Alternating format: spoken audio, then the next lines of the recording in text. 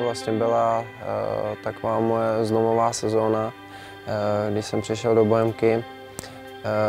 Poprvé jsem se vlastně dostal na hřiště na nějaký větší časový prostor a otevřelo mi to trošku vrátka. Takže já si myslím, že tady ten rok v Bohemce byl určitě přínosný a právě mohl jsem se do toho většího fotbalu konečně zapojit. A vlastně i díky, díky Bohemce jsem vlastně právě tady. Z nominací vlastně jsem do Ačka jsem tak ani, ani nepočítal.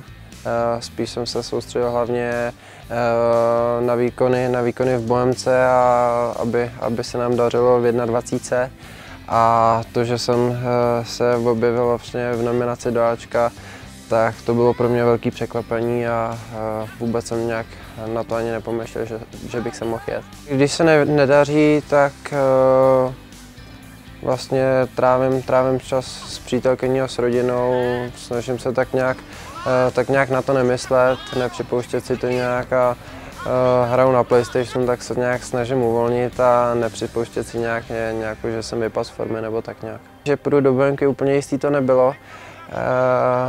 Takže já jsem rád, že vlastně jsme se nakonec domluvili a pokračoval jsem tam. Eh, šel jsem tam s tím eh, vlastně trochu se, trochu se obouchat i v té Bohemce, že právě eh, zrovna to, co mi chybilo, větší důraz a taková ta bojovnost, tak myslím si, že je dobrý, že jsem si tímhle prošel a šel jsem do Bohemky získat nějakou větší herní praxi a vrátit se zpátky do Sparty už zkušenější. Porvat se tam na místo v základu, takže vrátím se tam a samozřejmě chci hrát.